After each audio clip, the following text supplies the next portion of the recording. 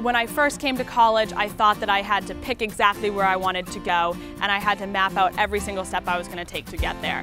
But going through these four years, I've realized that you actually can't do that.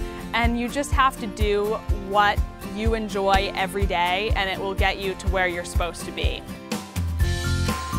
I spent my first two and a half years on campus as a biology major, and I realized this just wasn't for me. And I went back to the School of Business, I met with an advisor there, and I ended up coming around to the econ major because it provided um, sort of the best of both worlds in the School of Business. There's qualitative and quantitative components. It really just was the perfect fit for me. I've always been interested in math that was really why I gravitated towards economics over like sociology or anthropology. It seemed more like the social sciences tilting toward the sciences.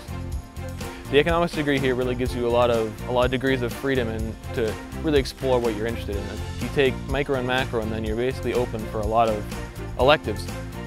I believe that the faculty at the College of Charleston is one of, if not the um, key areas where we excel. Each of them are a lot different in how they teach, but they all really care about their students. They've always been there when I've needed them for office hours or for an appointment if they weren't available. They're there, they're willing to talk, they're willing to share their research experience with me, and that's just really, really impactful.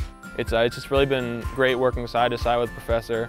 I've gotten pretty close to him and just, you know, learning how to do stuff in economics step by step with someone who's done it before. Goldman Sachs actually came and did a day where they met with students, and that was my first introduction uh, to the firm. I met with one of the professionals that came from the Dallas office. What he relayed to me was, we can teach you what you need to know about real estate. We can teach you what you need to know about what we do on a daily basis. What we can't teach you is the desire to learn, is the desire to work hard. And that's what the school teaches you. That's what economics has taught me.